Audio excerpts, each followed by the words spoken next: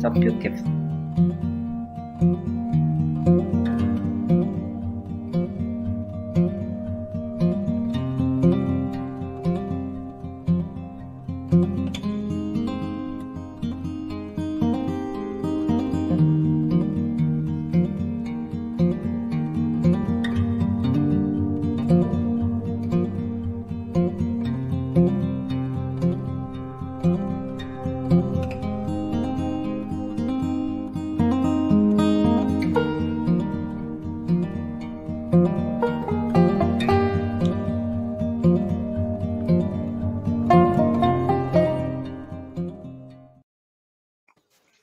Eccoci qua, buonasera a tutti, buonasera, buonasera, buonasera Laura, benvenuta e buonasera, grazie. di casa. Buonasera, buonasera, mi scuso per la voce però ogni tanto mi capita, parlo troppo, devo parlare un po' meno. Eh sì, sì, sì. Allora, questa sera parliamo di Carlini con Laura Borzelli, che prima di tutto ha provato i nostri prodotti e ci deve dire che cosa ne pensa Laura, che cosa, che cosa ci puoi dire? Dunque, prima di tutto vi direi cosa ne pensano loro, perché okay. io ho, in passato ho provato a spruzzare più di un prodotto e la prassi era che loro come sentivano lo spray scappavano. Questa è la prima cosa che devo dire. Con questo loro rimangono tranquilli perché l'odore non li disturba affatto e per me è già un grande traguardo. Molto, sono entrambi molto gradevoli, anzi uno neanche odora, devo dire. Scusate, metto gli occhiali perché sennò...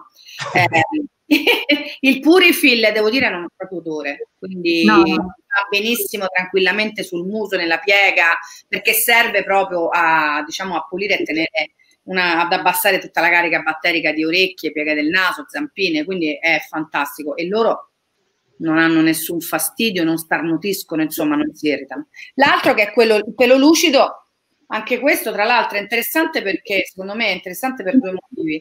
Primo che contiene l'aloe e io sono una grande amante dell'aloe. E il secondo che ha anche l'olio di neem che aiuta tantissimo a tenere lontane le zanzare, quindi in più dà una sensazione veramente di pelo pulito, poi soprattutto quando piove, che rientrano in casa, che hanno un odoraccio, insomma spruzzare questo e spazzolarli bene, io mi sono trovata benissimo, devo dire. Molto sì. bene, grazie infinite. Fine del discorso prodotti da Zelter, parliamo di questa razza speciale che è il Carlino. Perdonate l'intruso. Carlo, un intruso che tra l'altro, tra l'altro è un intruso che potremmo, visto che introduciamo sempre un po' di storia dei cani di cui trattiamo, potremmo comunque annoverarlo tra i cugini asiatici imparentati eh. con cani che hanno dato poi origine a quello che oggi noi conosciamo come Carlino in Italia, come Pagen in Gran Bretagna o nei paesi americani e come Mop nei paesi tedeschi o comunque scandinavi, perché è una delle pochissime razze canine che in base al dove ge- geograficamente è stato apprezzato, gli è stato appioppiato un nome. Noi da buoni italiani amanti dell'arte, del teatro, lo abbiamo eh, associato a un famoso attore di teatro degli anni 50, anni 30, 40, ecco, che era Carlo Bertinazzi, che appunto aveva questa espressione quadrata con gli occhi quasi in fuori e questa pappagogia che nel Carlino invece è questa giogaia molto molto presente. E quindi da lì Carlo Carlino perché poi è un cane che caratterialmente lo vedremo in seguito ha un carattere, un temperamento da, da, da, istrione, lui è un istrione. Io i Carlini li chiamo Prozac perché sono degli antidepressivi viventi. Cioè, eh, posso, quando li tenete fermi lì così, vedete adesso lui è là fermo, bloccato, ma in realtà lui vorrebbe eh, allontanarsi e controllare la situazione. Ci sta con quell'espressione per dire ma che mi stai a fare, che stiamo a fare, però poi come si allontana tira fuori tutto il leone che è, che è, che è dentro di sé. Leone perché? Perché ci sono due ideologie legate all'origine del Carlino. Una che è quella che dice che sono cani arrivati dall'Oriente, attraverso scambi commerciali che già avvenivano nel Cinquecento tra la Gran Bretagna e eh, la Cina, per esempio, come i paesi tibetani, i paesi indiani, e l'altra che invece sostiene che eh, la, la, variante, questa mutazione che noi chiamiamo tecnicamente brachicefalia, che poi è il prognatismo, sia avvenuta eh, in tempi, diciamo così, non sospetti e non legata fra di sé. Quindi vuol dire che in tante, in tante nazioni, in tanti continenti si è presentata questa mutazione, quindi probabilmente eh, il, il, prognato che c'è in Gran Bretagna non è imparentato col prognato che c'è in Asia. Questa è la seconda ideologia. Ma la prima, quella che è stata in qualche modo ufficializzata, lega questi cani ai piccoli cani che venivano eh, allevati in tutta la Cina e tutta l'Asia a protezione del maligno. Ok, erano piccoli cani, tant'è vero che in alcuni bassorilievi cinesi ci sono questi piccoli cani che sono dei, una, una via di mezzo tra un drago, un leone, che sono molto simili a quello che è il pechinese come origine, il Tibetan Spaniel o lo Shih Tzu o il Lhasa. Diciamo che l'origine asiatica è quasi, quasi comune come ceppo, ma in realtà noi sappiamo bene che il Carlino si è sviluppato poi in Gran Bretagna, è stato subito apprezzato, abbiamo delle, delle immagini che risalgono a più o meno il fine del 1800, eccole qua, andiamo di farle eh, condividere con la regia della nostra Silvia, ok? Dove si possono vedere i primi, i primi Carlini, no? Che sono ben diversi da quelli che vediamo oggi. Questo è un Carlino che risale più o meno sul finire del 1800, quindi oltre un secolo fa, lo si vede più snello, ma l'espressione, il carattere, la predisposizione a stare in mezzo alla gente ce l'ha sempre avuta, quindi è secolare. Questo è un dipinto che risale al secolo scorso, dove si vedono questi Carlini che sono spesso protagonisti della vita familiare. Questa è una fotografia un po' più recente, siamo a una manifestazione in Gran Bretagna, lui è, fa parte del casato del diciamo così, reale inglese, se non erro dovrebbe essere il duca di qualche cosa, di qualche contea, ora non mi sovviene eh, Laura. Era il re che abdicò. Giusto, giusto, ecco, che poi è rimasto duca, doveva prendere il, Enrico qualcosa credo si chiamasse, non lo so. Comunque grande appassionato di Carlini, eh, già si vede, qui siamo negli, negli anni 50, eh? quindi i Carlini già lo potremmo già vedere dei Carlini simili a quelli che possiamo incontrare oggi per le nostre strade. E questa qui, altre, è sempre stato parte delle famiglie reali inglesi, eh, la regina Vittoria per esempio ha sempre avuto Carlini, la discendenza eh, è stato associato fino agli anni 60 eh, in, in, Europa in generale come il cane delle vecchie zite, tra virgolette, detto proprio in modo tecnico, cioè le signore che potevano permettersi di non sposarsi perché erano, avevano un patrimonio non indifferente. Avevano no, patrimonio non ce l'ho. Però, diciamo così, Laura, in tempi non sospetti, eh, o, o, quando nasceva una donna, o si faceva suora o, o si, si prendeva i Carlini oppure li prendeva i Carlini. Tutto questo poi è cambiato nel corso del tempo. Il Carlino ovviamente, guardate, ecco, faccio bello. vedere questa foto è una foto degli anni 50. Bello. Questo è un cane che un po' segna un po', diciamo così, l'inizio del Carlino moderno in qualche vero, modo. Vero, vero. Una cosa importante che, che, da dire, il Carlino nero è arrivato dopo. È arrivato dopo, molto probabilmente è arrivato grazie a, a, a, cani importati dall'Asia che sono stati accoppiati con i carlini fulvi e albicocca e argento che c'erano già presenti in Europa e hanno poi formato un ceppo a sé. Alcuni allevatori, questo poi ce lo dirà Laura, eh, sembra che eh, riscontrino una, un carattere diverso tra il nero e il fulvo. Molto spesso alcuni allevatori eh, raccontano dei neri come un pochettino più introversi e i fulvi un po' più estroversi. Non so quanto sia vero questo, sicuramente. Quello è vero che però il nero e il fulvo hanno due, eh, hanno due sicuramente componenti diversi di pigmento. Sì, cioè, certo. so, dalla tua esperienza di Laura come allevatrice? Io mi sento di dire che per la mia esperienza eh, la personalità o il carattere del Carlino non è neanche da sesso a sesso come in molte razze e non direi neanche perlomeno io non l'ho notato sul colore. Molti mi dicono, ah, i neri sono più pazzi, oppure... Io devo dire che ogni individuo che ho avuto ha avuto una sua personalità ben distinta, indipendentemente dal colore o dal sesso. Perché ho avuto femmine dominanti mh, con un carattere fortissimo, eh, una era una nera, pensa, eh, è una nera, si chiama Lolita, c'è ancora, eh, un maschio molto dominante che è Fantaso, che non è qui stasera perché ho Bibli in calore, quindi ve lo volevo far conoscere, ma ahimè non c'è, l'ho, l'ho allontanato da una mia amica. Eh, quindi, mh, e poi magari c'è stato il nero Colossal che era dolcissimo, docilissimo, poi c'è Frankie che magari invece con gli altri maschi è più ripeto. Quindi mh, onestamente non mi sento di dare una distinzione per colore o per sesso. Sì. Guarda, io mi, mi, mi, collego a quello che dici tu. La cosa che ho notato io, diciamo così, frequentando diverse razze piccole brachicefale o comunque piccole, magari affette da nanismo, ho notato che più il cane si rimpicciolisce, più si allontana dal tipo, diciamo così, originario, e più tutti quei parametri che noi abbiamo per descrivere il comportamento del cane si perdono. Si Vero. perdono e quando si, anche a livello comportamentale, eh, a livello scientifico, non si può dire che il cane faccia dispetti. In realtà si può dire che il cane fa dispetti perché quando diventano così piccoli, cambiano così la morfologia, secondo me a livello neurologico qualcosa cambia e diventano sempre meno cani e sempre più folletti o gnomi, non so.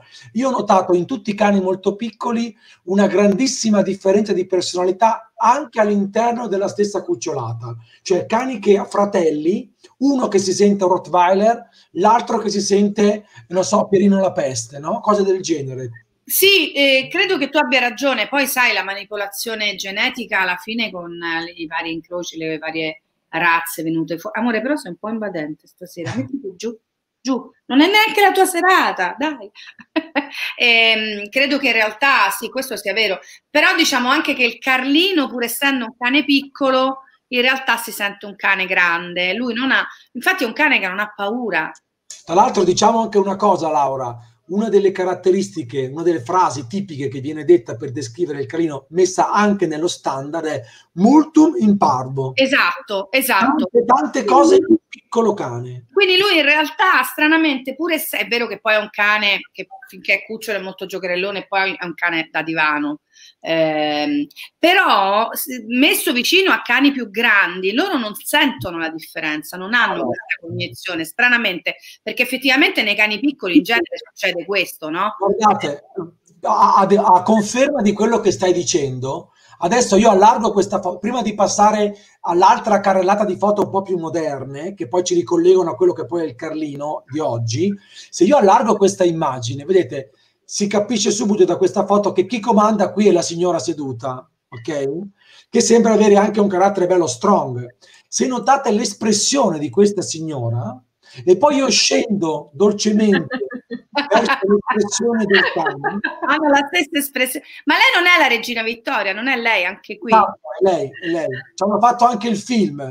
Esatto, esatto. Notate come la regina Vittoria. Sono gli amici che mi prendono in giro, no? Mi dicono, eh, stai diventando come la regina Vittoria. Beh, magari. Sei messa molto meglio fisicamente, grazie a Dio, una bella donna. Però la regina Vittoria aveva tante altre particolarità. Si nota come lei sa benissimo di comandare la regina Vittoria, ma chi comanda fra tutti e, e sei gli esseri viventi in questa foto, chi comanda è lui sì, sì, è verissimo. Hanno un carattere sfrontato, lo devo dire. Poi sono dolci, non è un cane aggressivo, non ha voglia di aggredire, però è un cane che è, pro- è padrone del suo, del suo, mondo. Lui non gliene può. Sono un po' incoscienti, vero? Molto incoscienti, molto. Molto. Laura, c'è Simona, Simona Trecordi che ci sta ascoltando. Ciao Simona! Il Carlino in salute, Feed My Pug, è espertissima anche lei di Carlini, ha un libro, ha un gruppo di Carlini e dice che la signora è la regina Vittoria e il Carlino è Bosco. Ecco, il nome del cane non lo so io, lei l'ho riconosciuta. Un'indicazione, ha fatto tante cose per il Carlino e ne continua a fare. Assolutamente sì. Simona, Simona, siccome sei così aggiornata, io ho un po' dei voti di memoria, il signore di prima, come si chiamava? Così almeno per... Non se era Edoardo VIII eh, qualcosa del genere. Eh, Simona, eh, rimetti nella foto che, che, magari non è arrivata tardi e non sa. Eh, il re che abdicò per il, perché voleva sposare Wally Simpson, Giusto. che era una donna divorziata e non glielo concessero e quindi lui abdicò. Eccolo qua. Diventò ecco. re il pa- I duchi di Windsor, mi sta dicendo. Vedi, mi esatto, i duchi di Windsor. Però non mi ricordo più il suo nome, mi pare Edoardo VIII, ma forse dico una baggianata. Ma Edoardo sicuramente c'è, perché Edoardo è un nome che va di moda nel Windsor, prima o poi esce. ma non mi ricordo se è il nome che prese il fratello, il papà della regina Elisabetta, c'è un vuoto. Erano due Vabbè. fratelli e quindi quell'altro che non doveva assolutamente diventare re, divenne re perché lui abdicò per questa donna.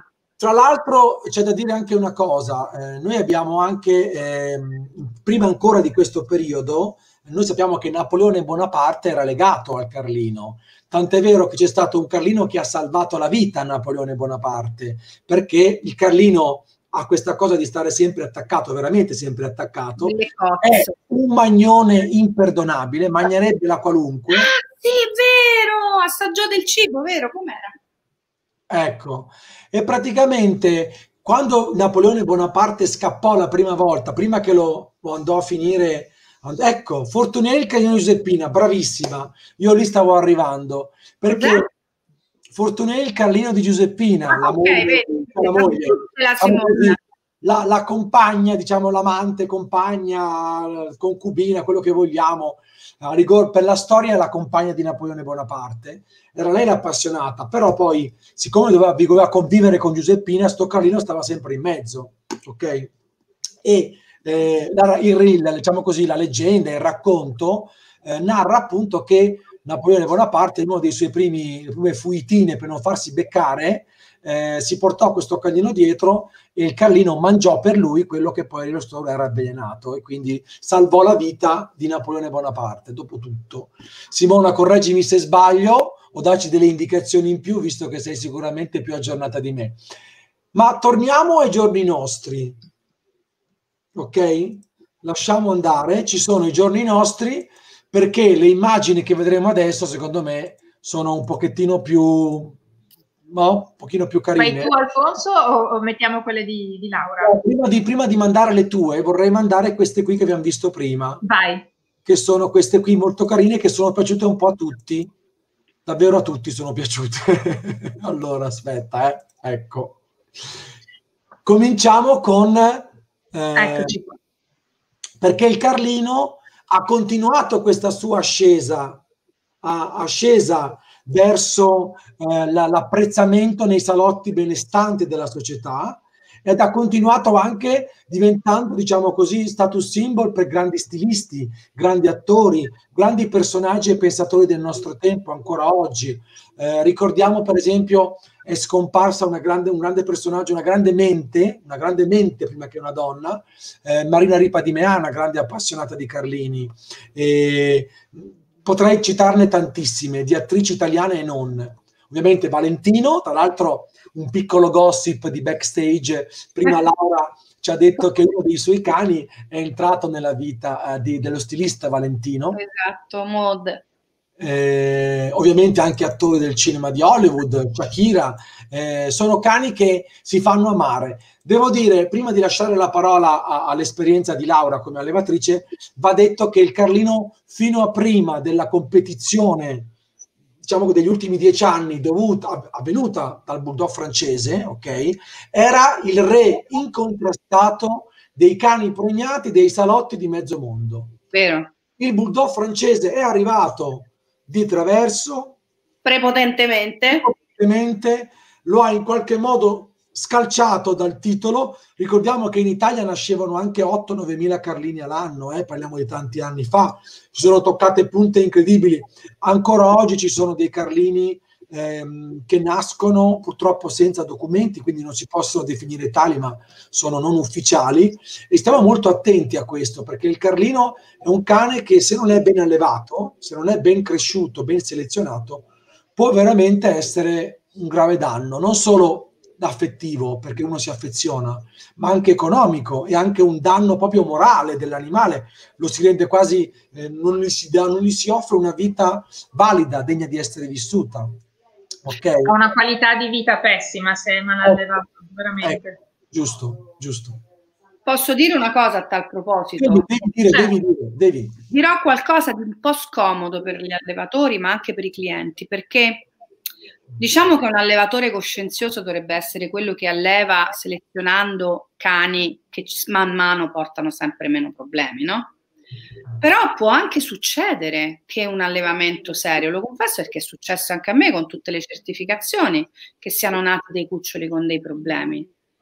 Eh, questo è un difetto però degli allevatori che nascondono sempre sotto il tappeto queste cose. Invece sarebbe bello parlarne, tirare fuori le robe, perché consultarmi alle volte con, ma senti, ma io ho avuto questo problema, tu che hai usato questo cane hai riscontrato problemi, in realtà non hanno mai avuto problemi nessuno. Io sono l'ultima arrivata, per carità di Dio, allevo da pochissimi anni, eh, sono entrata in maniera un po' prepotente, però l'ho fatto veramente con tanto amore e tanta coscienza. Non posso escludere che nonostante le certificazioni che i miei cani hanno avuto non siano successi purtroppo dei fatti per cui dei, dei, cuccioli hanno avuto dei problemi. Ora, io non mi vergogno a dirlo perché purtroppo è inevitabile, nel senso che si va indietro anche di cinque generazioni e difficilmente si può controllare questo se non hai dall'altra parte un interlocutore, cioè un allevatore che ti avverte o che ti dice le cose. Il coraggio dovrebbe essere quello di non usare dei cani in riproduzione. Poi ovviamente Purtroppo questo comporta dei rischi anche economici, perciò non usare dei cani che magari sono costati tanti e allora lì c'è la coscienza. Però questo, mi sento di dirlo Alfonso perché io credo che bisognerebbe andare un po' avanti e magari no? Sì. Allora, hai perfettamente ragione Laura e io aggiungo anche questo, uno dei motivi per cui abbiamo scelto te come protagonista di questa serata col Carlino è anche la tua onestà, perché eh, la, i canili sono pieni di cani in condizioni pessime. La gente pensa che il cane debba essere come un figlio, trattato come un essere umano e va salvato, fatto riprodurre e i canili si riempiono in continuazione. Calma, se dobbiamo far nascere un cane lo dobbiamo far nascere con responsabilità, con, esatto. un criterio e per un motivo. Il Carlino è una razza, facciamo nascere cane Carlini, non facciamo nascere qualcosa che non è un Carlino. Poi è verissimo quello che dici tu Purtroppo ci sono allevatori di vecchia data che siccome gli è sempre andata bene negli anni, non hanno mai avuto problemi, giustamente possono dire di avere una linea di sangue, tra virgolette, buona, ma oggi non si può più parlare in questi termini. Oggi abbiamo la capacità di poter fare selezione seria, poter testare gli animali, poter capire cosa, na- cosa potrebbe nascere, come prevenire malattie, facciamolo, non è più esatto. accettabile. Sì, però voglio dire che anche cercando di lavorare bene può succedere, perché quando vai avanti, ah, certo. vai indietro certo. cinque generazioni, adesso ti faccio l'esempio magari più stupido che può essere eh, la lussazione della rotula, quando sì. io so tre generazioni di cani senza lussazione. A me è successo di avere un cucciolo, quarta generazione era mm. lussato. Ma certo. L'ortopedico mi ha detto: Ma qui devi andare indietro di cinque generazioni. Io non ce l'ho il tempo per andare indietro. Guarda. Però è evidente che a monte hanno fatto finta che andasse tutto bene, no? Certo, però ti dico questo.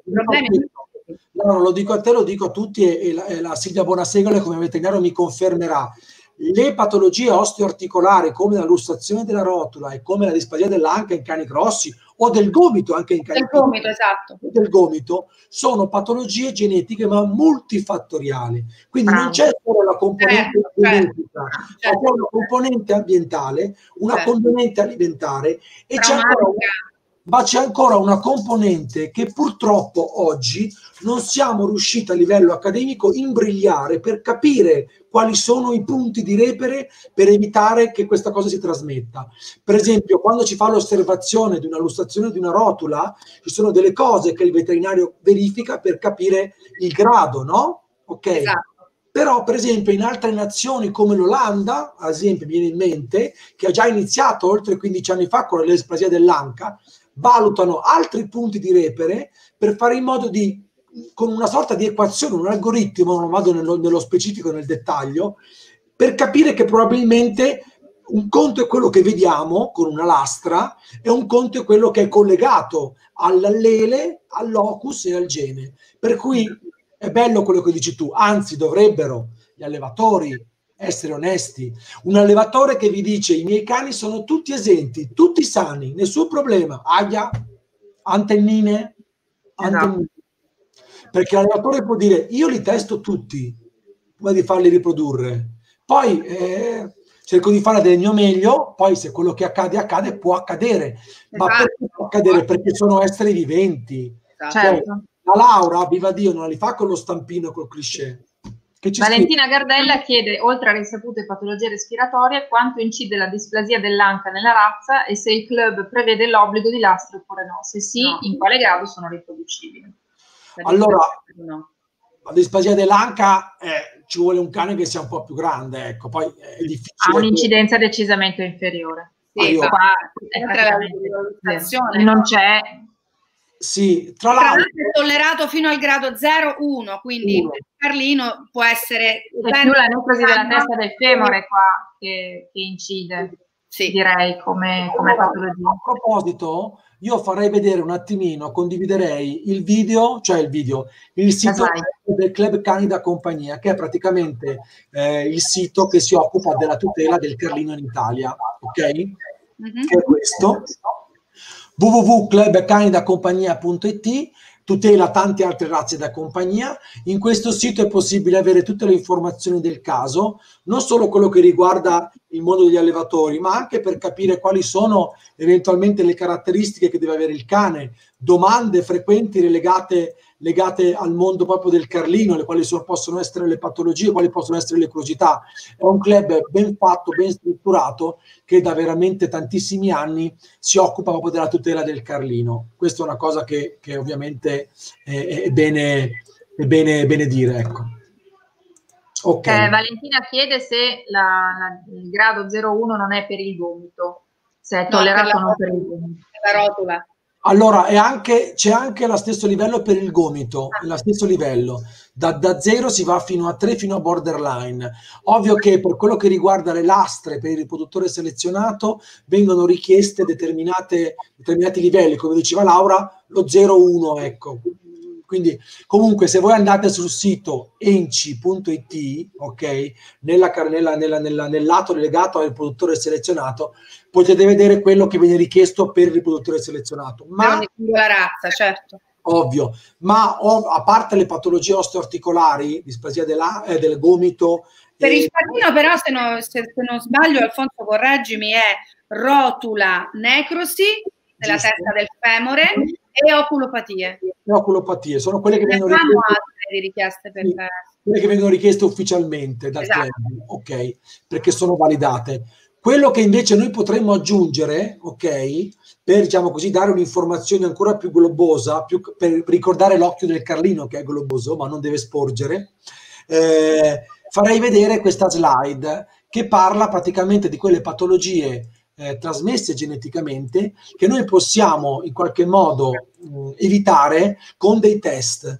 Allora, sono dei nomi un po' improponibili alcune volte, anomalia di May-Haglin, eh, menicoencefalite necrotizzante, deficienza del piruvato chinasi. Allora, ve le mettiamo perché eh, è, è, importante che voi le conosciate queste malattie, perché ci sono. Allora, eh, un buon allevatore coscienzioso eh, testa i cani prima di farli riprodurre per evitare che queste patologie si possano trasmettere alla... Però... Prego. Posso? Sì, sì, sì. Però, per esempio, nel caso della meningoencefalite necrotizzante, che è un test che si fa già da qualche anno, insomma, ehm, diciamo che abbassa l'incidenza del rischio, però non è che te la toglie totalmente, perché purtroppo può succedere, può arrivare la meningoencefalite necrotizzante anche su cani che abbiano gli alleli NN. Certo. Eh, quindi abbassa del 40% insomma questo rischio. Sì, diciamo che eh, nel momento in cui una persona sceglie di prendere un carlino, eh, dovrebbe... No, secondo me è una linea guida per gli allevatori. Gli allevatori certo. Accoppiare cani NN, quindi che non presentino sì. questi anelli, riduce sensibilmente, esatto. poi se si scende di generazione in generazione, ovviamente il rischio si diminuisce sempre di più. Però esatto. Prendere un cane NN testato, come anch'io ho sempre fatto, e pensare che non averla mai perché è testato può essere un po', insomma, non è così veritiero, ecco, il rischio c'è sempre. Certo, infatti questo qui è uno specchietto che serve appunto agli allevatori, quindi quello che noi vogliamo far conoscere anche a chi poi è il futuro proprietario di un Carlino è che non esiste soltanto l'occhio, il cuore, la zampetta salta, eh, ma esiste una serie di patologie che eh, va detto molto spesso si esprimono quando il cane ha 5-6 anni, quindi quando ormai magari si è perso i contatti con l'allevatore oppure nessuno ha chiesto il pedigree perché non gli interessava, oppure uno, oppure il veterinario che è bontà sua non può essere esperto di tutte le razze canine, no. magari eh, non si è accorto che ci potrebbe essere una patologia legata a quel tipo di cane. Quindi eh. era solo per fare chiarezza su questo. È importantissimo, ma scherzi, assolutamente. Io, io vorrei sottolineare soprattutto che però il problema del Carlino è verissimo che ha tutte queste, queste possibilità, ma noi abbiamo la necessità comunque di andare a selezionare e in particolare a cercare cani che siano in salute per quello che riguarda l'apparato respiratorio certo. perché è quello che influisce maggiormente sulla qualità di vita dell'animale. In questi giorni stanno girando delle vignette, no? Per cui le persone si lamentano della mascherina e c'è un Carlino che li guarda e dice ma sapessi che cosa passo io tutta la vita. Eh, noi veterinari purtroppo, io magari ultimamente non esercito molto quindi sicuramente ne vedrò meno, però so di colleghi che hanno visto animali che eh, in totale dispnea e incapacità respiratoria eh, hanno messo una cannuccia in gola al cane e questo cane ha incominciato a respirare con una cannuccia, una cannuccia di quelle grosse, quindi per rendersi conto della condizione in cui arrivano veramente a, a, a tollerare veramente di tutto. Quindi la prima cosa da fare è l'onestà intellettuale del veterinario che deve dirvi che deve aprire le narici quando le narici sono chiuse e alla stessa identica maniera di allevatori che devono smettere di selezionare cani che sono stati operati alle narici e che sono stati operati al palato molle, perché questa cosa è veramente gravissima. Poi è, è vero anche che non si ha esattamente la percezione di fino a dove eh, puoi operare o puoi non operare, perché se tu parli con i veterinari dici sì, ma sì, nel 90% dei casi un palato molle di un carlino è da fare però anche lì ci possono essere delle variabili, per cui lo spessore della mucosa, non soltanto la lunghezza del palato, eh, ma soprattutto la cosa importantissima è eh, un qualche cosa che possono vedere tutti, le narici. Se mm. tu operi un palato ma non allarghi le narici, qualora le narici siano aperte, qualora le narici siano stenotiche, tu hai fatto il, il 10% di quello che puoi fare, perché purtroppo i cani non hanno il riflesso della respirazione buccale. Quindi loro, nonostante abbiano il naso chiuso, non riescono a rendersi conto che devono aprirlo, non hanno proprio questo tipo di riflesso, come per noi. Noi la prima cosa che facciamo quando ci chiudono il naso è darvi la bocca. Eh, loro no, non hanno questo tipo di, di riflesso. Quindi eh, tanti mi dicono, ah ma il mio cane respira benissimo perché non apre mai la bocca e io dico, no, ma guarda che non può respirare bene perché ha il naso completamente chiuso, delle narici completamente chiuse. Quindi anche lì avere quell'accortezza di Alfonso, tu mi insegni che all'Enci stanno cercando di fare qualche cosa in accordo con l'ANVI e in accordo anche con un minimo di formazione nei confronti dei giudici, che le narici potrebbero vederle, no? Che cosa eh, si sta facendo? Stanno facendo una grande collaborazione, appunto, come dicevi tu, con, la, con l'Ordine dei Medici Veterinari. Eh, sono capitanati comunque da, da, diciamo così, da, da, da nomi di, di, spicco, da nomi di lustro, no? che hanno grandissima esperienza proprio anche proprio nel settore. E l'obiettivo è quello di eh, diffondere cultura sia ai giudici che agli allevatori. Quindi eh, recentemente, prima, ci, prima, di questo periodo di lockdown, eh, c'è stato proprio in Enci, una sede a Milano, un incontro sulle problematiche delle razze brachicefale eh, con il professor Bussadori con i vertici dell'Enci per divulgare questa importanza di informazione. Vero è che lo standard della razza, Carlino, c'è scritto che de, tutto quello che, ehm, che può far prevedere o presagire una problematica respiratoria dell'animale va va eliminato, cioè va eliminato. Va Dalla fatto... riproduzione. Però, però, però, posso dirti che mi è successo in gara, eh, per esempio il mio cane Fantasma, che è un campione italiano, eh, è, mi è stato detto che il suo naso era un po' troppo lungo. Pur essendo comunque un bellissimo cane, devo dire che respira da Dio.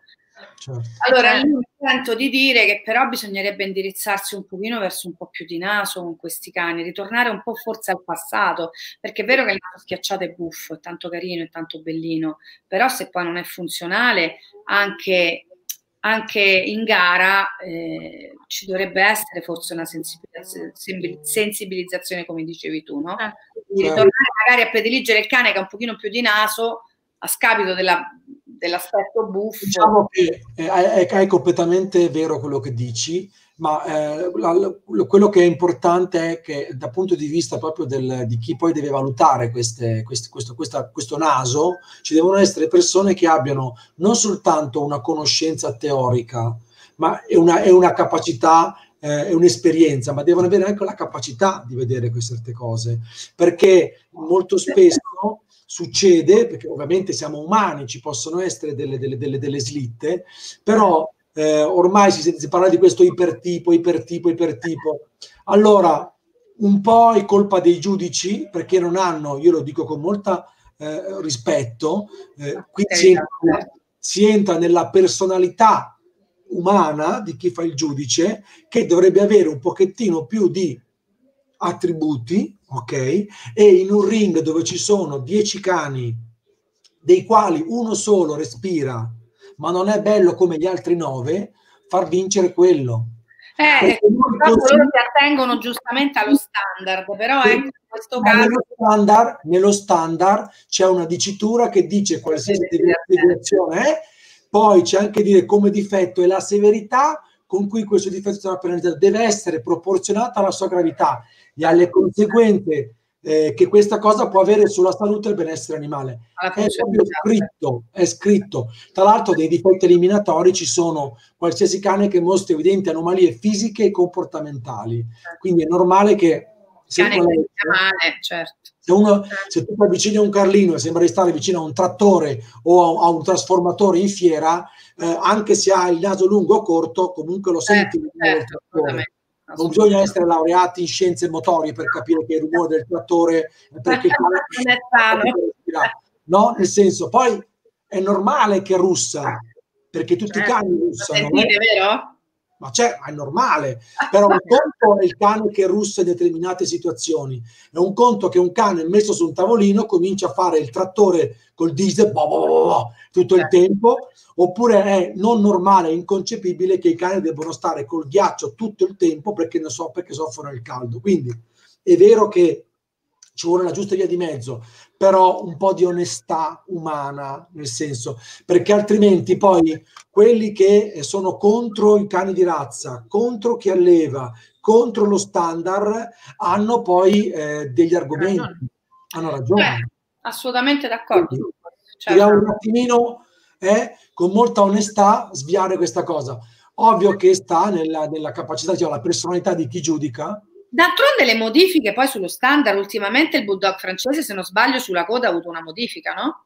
Certo, ma hanno avuto anche modifiche, eh, è saltato in piedi delle modifiche sui cani brachicefali eh, dall'Olanda in tempi non sospetti. Questa cosa ha eh, estremizzato tutti, cioè ha veramente inalberato la cultura del cane. Come si è visto nelle immagini storiche, due secoli fa c'era già il Carlino, eh? c'erano già i cani brachicefali ma siccome c'era una selezione di tipo funzionale, nel senso è vero che mi doveva stare qua a fianco al letto, dormire con me, avere forme neoteniche, volevo se bene, viva il pro, teniamoci per mano, ma doveva anche respirare bene.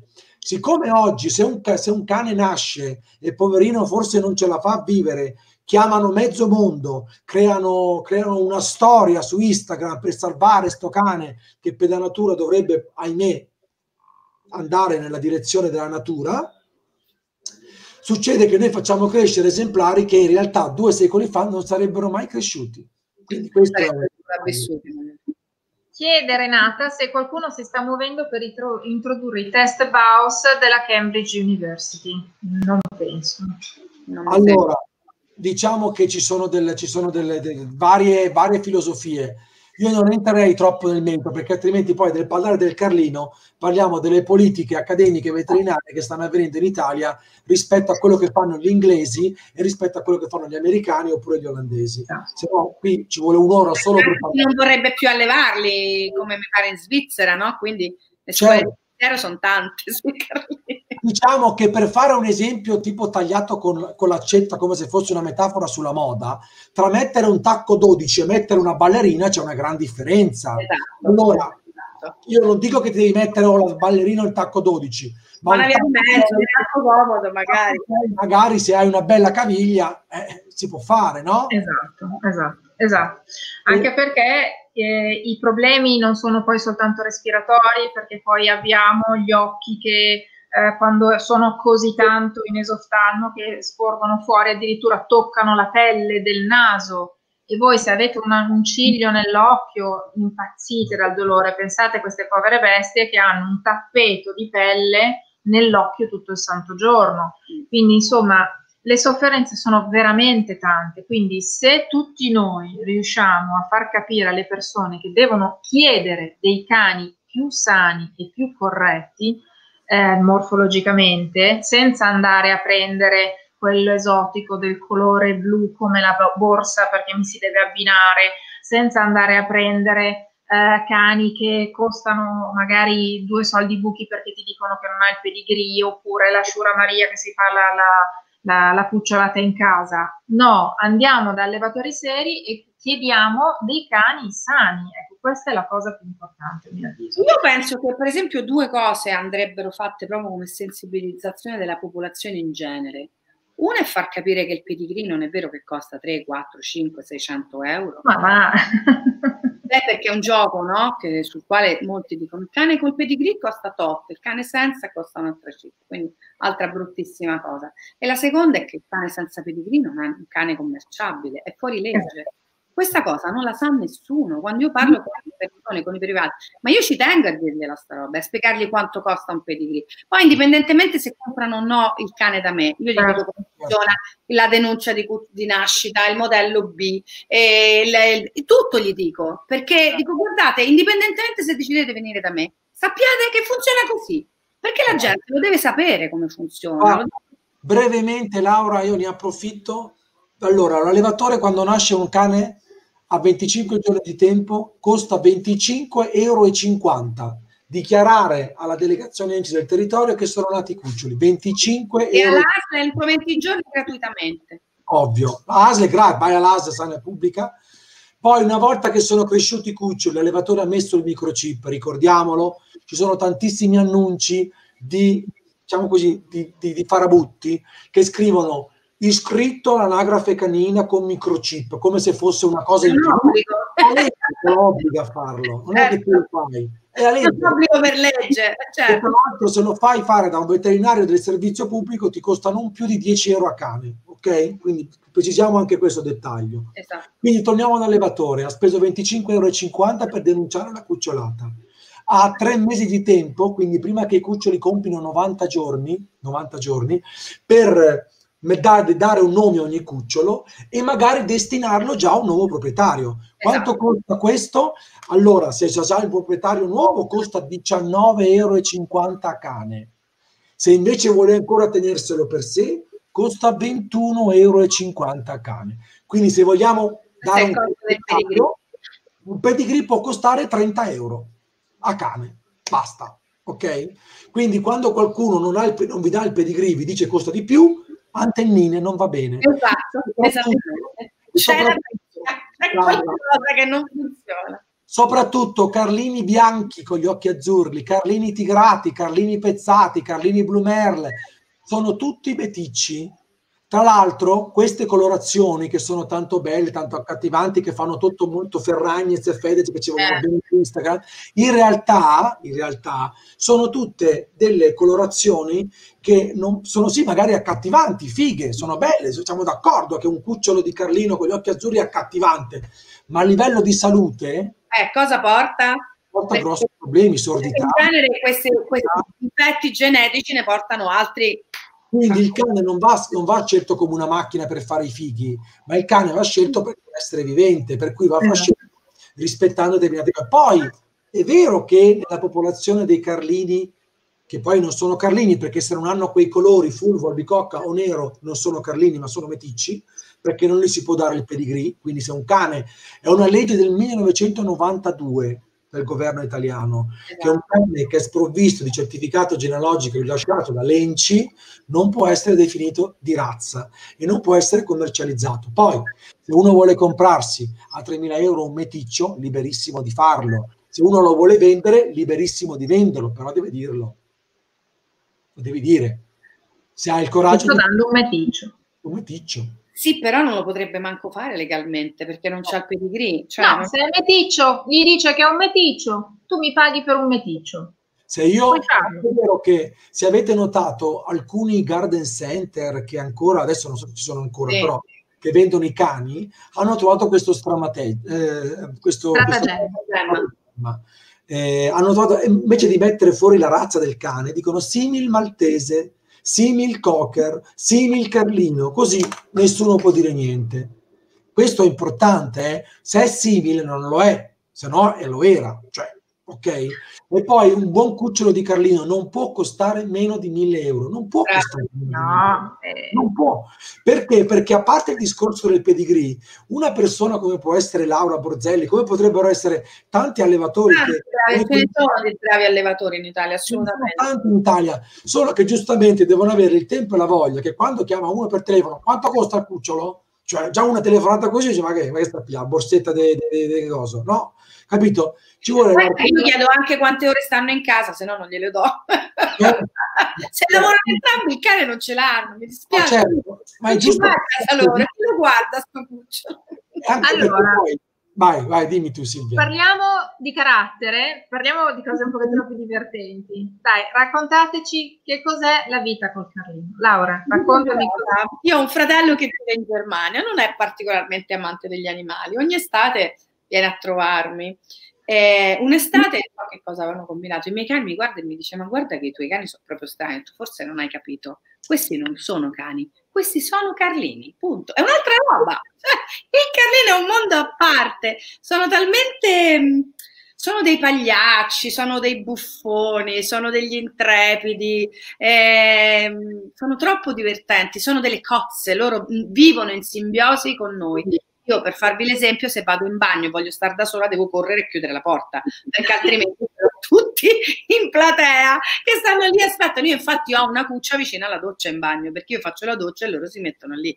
Quindi diciamo che sono una compagnia incredibile e poi hanno la capacità di farti passare tutti i malumori, perché ti guardano con quegli occhioni Ecco, guardate, io poi non posso spiegarvi l'emozione di quando nascono i cucciolini. Le mamme sono non sempre buone mamme, devo dire, perché non lo sono sempre, quindi noi allevatori spesso dobbiamo fare veramente tutto, soprattutto i primi giorni, loro ti guardano e dicono ma che sono queste cose? Ecco, poi ti arrivano questi cuccioli che si mettono così ed è, è, è amore, ragazzi, questo è amore puro. Io non so descrivere la passione che si può Alfonso, vuoi commentare questa foto? Com'è? No, dicevo no, no. Alfonso se voleva commentare questa foto o questa anche. No, anche quella di prima magari è più carina, eh, così possiamo vedere un attimino quando si diceva prima molto in parvo, tanto in poco. Se notate, questo, questo che è una femmina probabilmente avrà più o meno... E lei è questa qui a fianco a me. E si nota, a parte si vede questo, questo, dimorfismo che comunque si vede che è una femmina è molto più, diciamo così, aggraziata nelle forme rispetto a un maschio, Notate come è molto compatta, è quasi nel quadrato, quindi ha questo, però è massiccio come cane, ma non è un massiccio vicino al terreno, è un massiccio alzato da terra, ma non troppo alto, perché non deve essere troppo alto sugli arti, non deve essere troppo basso. Notate che come anche le zampine di questo cane sono arrotondate, sono come tutto il resto del corpo, è un po' armonioso, da qualunque parte di da qualunque parte del corpo vedi il cane, lo vedi armonioso. Lo sguardo deve essere uno sguardo intelligente, vivo, attento. Non sono cani addormentati, non sono cani eh, che, che mordono, in piedi. Anzi, fattiamo subito un mito. Il carlino non deve avere gli occhi storti, non si devono vedere i denti fuori, la lingua fuori, no. Allora può succedere un cane anziano, considerate che i carlini arrivano fino a 16-17 anni, sono cani molto longevi. Io sono un appassionato di questi cani. Devo, devo confessarvi che anche in passato io ho allevato, ho fatto qualche cucciolata di Carlino e ho, e ho, introdotto nella vita di alcuni miei amici che oggi sono allevatori i Carlini. Ah, non lo sapevo! E sono molto orgoglioso di questo e, e, devo dire il Carlino ha questa poi ecco le orecchie del Carlino ok possono essere in due modi come vedete nella foto ricadenti con un'attaccatura molto alta e con il lembo della guancia interiormente che tocca il cranio vicino all'altezza del sopraorbitale dell'occhio oppure possono essere un po' toccate dietro si dice a rosa o quasi a rosa. Ma se noi tocchiamo l'orecchio di questo, di questo, l'orecchio di questo Carlino del Carlino sembra quasi velluto il pelo sembra quasi proprio è una cosa meravigliosa. Poi andiamo sulla faccia, una vera e propria faccia, gli occhi sono frontali quasi. Eh, la piega tipica del carlino sopra il naso non deve mai coprire totalmente il naso, deve sempre lasciare il naso fuori perché deve fare in modo che il, che il naso possa essere, come ci diceva prima, con delle belle narici aperte, con un bel con due quarti ben, ben, ben disposto del naso del tartufo. E poi abbiamo il discorso dei denti, la dentatura ci deve essere nel Carlino, eh, i denti ci danno eh, il sintomo di come una, un essere vivente sta, tant'è vero che ai cavalli si guarda i denti, a cavallo donato non si guarda in bocca, queste cose sono cose che ci fanno tornare alla mente come la dentatura sia importante, no? Eh, un medico, anche noi esseri umani, ci guarda in bocca, guarda la gengiva, guarda i denti, la lingua, nei uh-huh. cani uguale, la dentatura del carlino deve essere la dentatura di un cane, ovviamente non possiamo pretendere di aprire e trovare i denti di un Doberman, ma certo. soprattutto ci vuole anche molta delicatezza nell'aprire i denti a un carlino, ci vuole, bisogna usare i pollici, alzare il labbro superiore, abbassare il labbro inferiore con molta delicatezza perché sono cani aggraziati, non amano le ingerenze, non amano le invadenze, sono molto aristo, sono molto Windsor come cani. Dove hanno un certo portamento, questa cagnolina probabilmente è stata fotografata mentre rimirava qualcosa che la incuriosiva. Sono molto Stava curioso. guardando, gliel'ho fatta io, stava guardando gli altri che giocavano e lei si era fermata per controllare la situazione. Tra l'altro, eh, l'altro è un maschio che però qui aveva un anno e mezzo. Sì, molto giovane. Ancora, sì, ancora vedi che non è formato, ancora sembra un po' lungo ed è quello che ti dicevo del naso leggermente lungo, ma qui non si vede bene. Però ha una bellissima espressione di razza. La femmina di prima, a differenza del maschio, il maschio ha una coda che è arricciata. Ha il doppio riccio il maschio. Invece anche la femmina ha un doppio riccio, dalla foto mi sembra... No, lui ha proprio un doppio riccio, lei è ben chiusa, chiocciola, ah, okay. però c'ha proprio un riccio, un doppio Perché, riccio. Giustamente come dice la Laura, uno dei pregi del Carlino è che double twist, la coda si arriccia due volte, perché anche la coda ci deve dare questa impressione di tanto in poco. È come se voi vedete... Guarda che meraviglia. Ah, certo, sì. Era una roba strepitosa. Notate come da cuccioli è normale, ci possono essere un po' di non posizionamento corretto degli occhi e si intravede un po' di sclera, quella parte bianca nell'angolo interno, che poi crescendo si toglie. Tutti i carlini quando nascono, ovviamente eh, eh gli assi craniofacciali, il posizionamento dell'occhio è, è spostato, si aprono piano piano, impiegano due mesi quando nascono con gli occhi chiusi, ci vuole il tempo che ci vuole perché l'occhio deve formarsi. Non deve essere mai... Anche ingrandendosi il cranio, a quel punto si allora meglio. Certo. E lo spazio adatto per questa cosa. Queste sono un maschio e una femmina, queste? No, sono due femmine. Quella Madre... di destra è Bibli, quella che abbiamo visto prima, sì. e quella di sinistra è Cipria. Sono okay. due femmine. Però probabilmente quella di sinistra è un po' più avanti con, gli, con l'età, può essere? No. No, pensa, era più giovane più giovane, allora, ha fatto subito la barbina bianca. La barbina, barbina bianca. Ci sono quasi tre anni lì, sì. Sì, sì. E quindi per dire la morfologia del Carlino è quella. Poi tra l'altro c'è una caratteristica che Eccola la moda che sta da Valentino, questo è lo yacht oh. di Valentino. Vedete, in questo cane si vede proprio una delle tipiche posizioni che loro amano, a coscia di pollo, dico io, amano moltissimo mettersi così, eh, più che altro perché loro toccano la parte inguinale sul terreno quando fa molto caldo perché riescono un attimino a rinfrescarsi. Notate come c'è questa sfumatura che dalla maschera nera va sulla fronte. Probabilmente questa cagnolina ha anche la famosa anguilla che percorre lungo il dorso. Che è una delle... Si li vede da verso la coda, la vedi? Ecco, ecco, si vede. Notate come proprio c'è è una caratteristica tipica della, della, colorazione del carlino, perché il carlino può avere qualche accenno di macchiolina bianca sul petto, ma in realtà vero Carlino nasce con questa colorazione che, che è colore argento in qualche modo, che è quella proprio tipica della razza. E poi che cosa aggiungere rispetto al Carlino? Ecco, questa qui è una, una foto interessante, fa vedere il vecchio Carlino di un tempo e il Carlino quello moderno, come c'è stata questa evoluzione spostata verso... Tanta roba, eh? Eh, tantissima roba. Sicuramente il Carlino moderno è più accattivante come muso, è più, è più puppet, è più peluche, no? Certo, certo. Trovare, diciamo, una strada verso la funzionalità respiratoria sarebbe il massimo. Ma secondo me si può riuscire perché eh, se noi abbiamo visto le foto che ho fatto vedere prima... Eh, Vedi, eh, loro vivono in simbiosi, sì. non c'è niente da fare. Sì, sì. Guarda, poi tra l'altro sono dei cacciatori spietati, ricordiamolo, tu, tu avrai la conferma. Hanno, sono dei cani che hanno un istinto predatorio altissimo.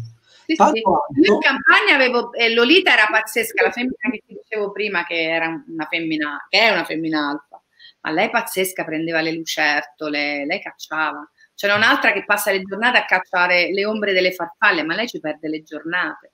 Poi certo non capisce che sono ombre, ma l'istinto c'è. Certo, certo, sono dei, dei, dei grandi predatori. Ehm, carattere tra di loro. Cani quindi possono, possono convivere tranquillamente, pacificamente, sì, no? Guarda, eh, i maschi no, nel senso io ho avuto dei maschi separati, nere separati, avevo casa divisa in tre, praticamente, perché i miei Carlini comunque hanno sempre vissuto in casa con me, una casa grande in campagna, quindi diciamo su due piani e quindi avevo so, da una parte c'era un maschio con delle femmine, da un'altra perché mh, soprattutto Fantaso e il papà Ghostbuster erano terribili. Non c'era verso. Quindi anche questa è una cosa da sapere. Le femmine possono stare insieme più di una. Alcune, una. diciamo che alcune non ci sono simpatiche, eh? cioè sono mm. cani. La verità è che uno non se lo immagina, ma il Carlino, come diceva Alfonso, è un cane. Ora certo. è vero che hanno, no, in genere sono tranquilli, però la convivenza tra tanti cani può essere anche difficile perché magari ci sono le gelosie, perché magari una sta per andare in calore, l'altra lo sente, gli dà fastidio, quella non vuole. Insomma, mm, sì, eh, ecco, io non ho mai avuto liti per la pappa, questo devo dire non è mai successo perché... Ecco perché poi sono anche molto nel mangiare, sono anche un po', non è che sono proprio Io, ecco una cosa che ti posso dire da allevatrice, io ho fatto una cosa che molti allevatori mi hanno sempre detto no ma tu sei pazza, non si fa così. Io però da cuccioli quando ho cominciato lo svezzamento, a parte i primissimi giorni in cui hanno capito la pappa e la quantità, io poi i cuccioli gli do pappa a volontà. Perché ah, il problema che succede spesso con il Carlino, al quale è stata dosata la pappa, è che vivono con l'ansia della mancanza del cibo, soprattutto se c'è un cucciolo più forte che si mangia più pappa e l'altro rimane sempre col senso di fame. Questo ha fatto sì che i miei cani quando mangiano, e questo lo possono confermare tanti clienti, non hanno quella cosa di eh, arrivare sul cibo e divorarlo in un attimo e magari strozzarsi anche eh, è un po', cioè all'inizio uno ci sta un attimo attento, però è anche vero che dopo la prima indigestione magari poi si regola. Il cane si autoregola, non è che un cane si ammazza di cibo eh, sempre. Lo fa se ha o un condizionamento psicologico, secondo me dovuto a un'infanzia dove gli è mancato il cibo, mm. oppure se ha paura che qualcuno glielo rubi. Mm, sì, io questo sì, se qualcuno... D'accordo Silvia? Sì, se qualcuno cerca di... sicuramente il fatto di dargli da mangiare singolarmente o quantomeno eh, separati che non hanno l'ansia di dover eh, per forza finire prima perché sennò qualcuno te lo porta via, questo è sicuramente... A me succede spesso che i cuccioli, proprio perché vanno in abbondanza, lo lasciano. Certo. Eh, questo fa sì che però non hanno l'ansia che quando arriva la pappa, eh, arriva la pappa, sbrighiamoci! E questo sì, sì. rimane anche da adulti, capito? Eh, certo. Ci sarà un po' di spreco di pappa, sopravviveremo. Anche Renata, anche lei è allevatrice di bulldog francesi, e dice che anche lei fa la stessa cosa e quindi ah. i suoi cani non sono ingordi perché si autoregolano in questo senso. Come un'altra cosa, se posso dire, io credo moltissimo, non so se siete d'accordo, su eh, quando consegno il cucciolo a chiedere ai nuovi proprietari, perlomeno per il primo adattamento del cucciolo in casa, il recinto. Perché sì il recinto io trovo, intanto partiamo dal presupposto che il cane, qualsiasi cane, è un animale da tana. Quindi si sente sicuro in un ambiente angusto e protetto. Allora, un cucciolo che eh, tra l'altro deve essere stra ben socializzato e quindi io onestamente mi sento di dire mai prima del terzo mese, ci tengo a dire questo perché secondo me non si può dare via un cucciolo, per legge sono 60 giorni, ma un cucciolo a 60 giorni ha finito lo svezzamento, ma non ha iniziato la socializzazione col branco mm. e con gli esseri umani. Quindi, secondo me, il terzo mese è fondamentale. Quindi, dare un cucciolo tre mesi e poi far capire a questo cucciolo che questo ambiente enorme, che è la nuova casa dove non ci sono più i fratelli, dove non c'è più la mamma, non c'è più il branco, c'è un suo posto tranquillo dove può stare. E poi permette anche ai nuovi proprietari che se devono uscire a fare la spesa, lui ha la sua traversina, la sua tolina, la sua cuccia, c'ha il suo mini mondo e lì sta protetto e non si attacca magari a una presa di corrente, distrugge casa e rimane magari anche folgorato. Io certo. eh, devo dire che tutti mi hanno detto che con questo tipo di educazione poi quando hanno portato i miei cuccioli a casa non hanno pianto, sono stati tranquilli, si sono trovati già nel loro micromondo.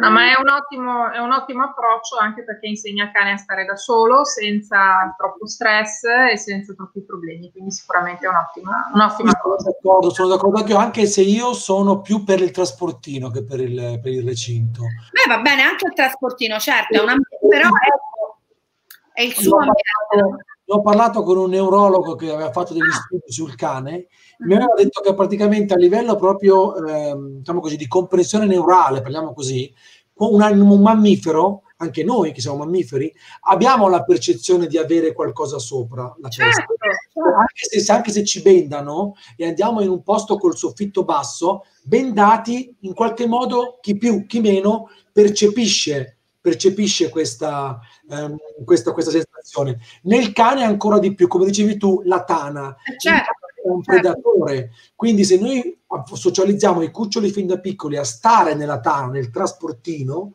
esatto. è utile per tanti motivi, perché io spesso uh, lo consiglio perché nel momento in cui poi io sposto il trasportino nella macchina, il cane viaggia, sposto il trasportino omologato, IATA, in aereo, il cane va in aereo. Diciamo sposto... che il trasportino lo metto dentro a recinto. Brava, certo. Nel senso che sai che c'è, c'è anche da dire questo, che io mi rendo conto che ovviamente la mamma quando i cuccioli li allatta toglie tutto, pulisce tutto, perché comunque non è vero che le tane sono sporche, le mamme le tane le tengono pulite. Sì.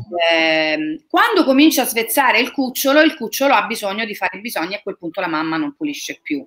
Quindi i cuccioli in una maniera incredibile, se il recinto è ben organizzato e c'ha l'area per dormire, l'area per bere e mangiare, l'area certo. per fare i bisogni, sono bravissimi a distinguere le loro aree, non hanno voglia di sporcare.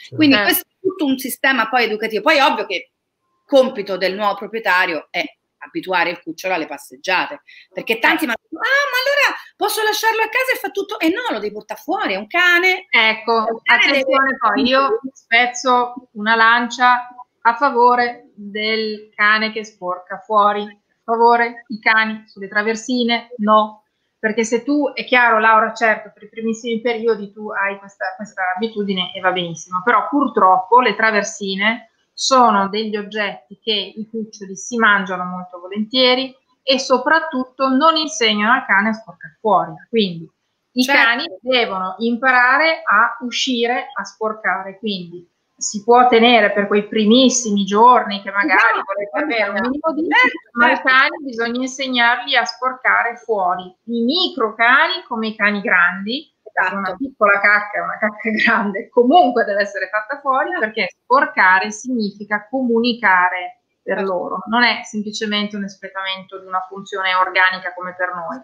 Per loro andare fuori significa comunicare, annusare, socializzare, dire al mondo ci sono esatto. e dire al mondo questo è il mio territorio e quindi insomma è, è tutta una serie, se, se, togliamo al cane la possibilità di uscire no, a sporcare, gli togliamo veramente il mondo. Quindi è come per noi non, non poter mai leggere un libro o eh, stare chiusi dentro casa, insomma il cane è un animale sociale e quindi se è l'unico cane in casa poi ne deve vedere altri fuori. Esattamente, quindi per, per favore, e poi soprattutto la traversione è comunque un oggetto pericoloso perché spesso e volentieri viene mangiata e si possono creare dei danni veramente molto importanti, veramente molto gravi.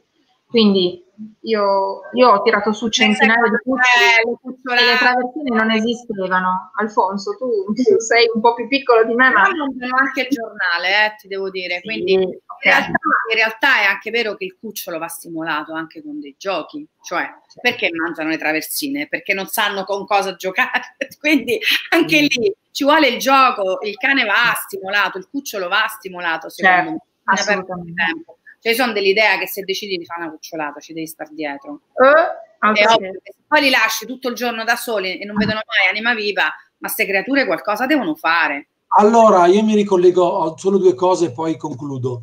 Eh, ovviamente ci vuole una sorta di predisposizione genetica. Noi abbiamo, sappiamo che i cani acquisiscono dalle esperienze che fanno li acquisiscono delle cose e geneticamente le possono trasmettere, cioè possono trasmettere la predisposizione ad acquisirle nuovamente nelle generazioni future. Quindi vuol dire che i cani che nascono da Laura, che li alleva in quel modo, sicuramente saranno molto più predisposti a stare nel recinto, a sporcare in quel modo, a comportarsi così, perché geneticamente più passano le generazioni e più queste, queste predisposizioni comportamentali si fissano gen- geneticamente in quello che è un codice di reazione alle azioni e stimoli esterni. E questa è una cosa. Tornando al discorso della tolleranza tra cani, eh, eh, ammesso non c'è, a parte l'aggressività rediretta dovuta dal mestro, quindi le cagne che chi prima che dopo possono avere un pochettino di eh, scazzottate, diciamo così. Esatto.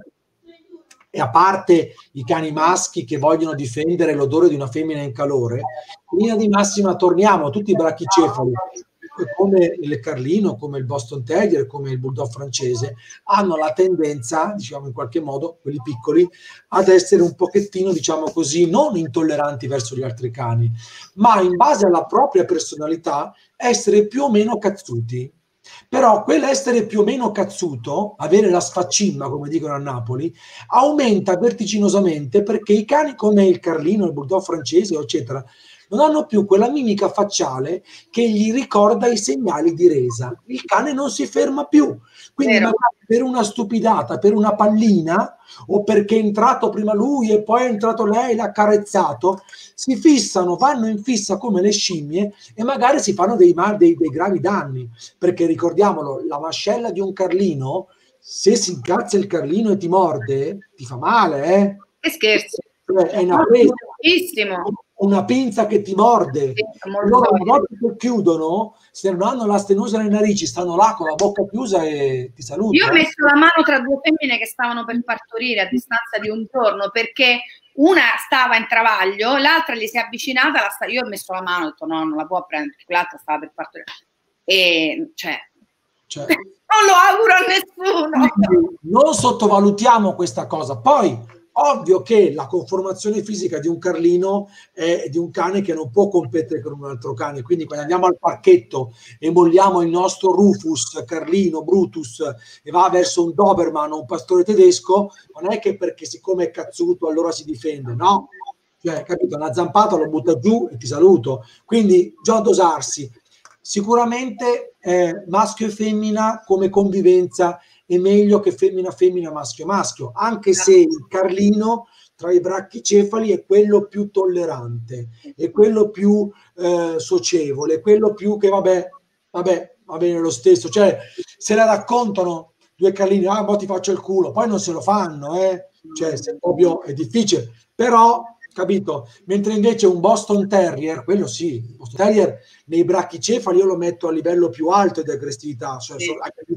di Beh, anche un fisico che supporta, no? Magari. Fisico più scattante, più sportivo. Eh, certo. di, se vogliamo fare una classifica di cazzuttaggine nei brachicefali, il più cazzuto è il Boston Terrier, secondo posto Bulldog francese, perché anche loro i Bulldog francesi te li racconto, e terzo posto il Carlino, quindi dosiamoci. Beh, sicuramente il Bulldog francese c'è una potenza muscolare maggiore. Certo. Facciamo anche consigliare.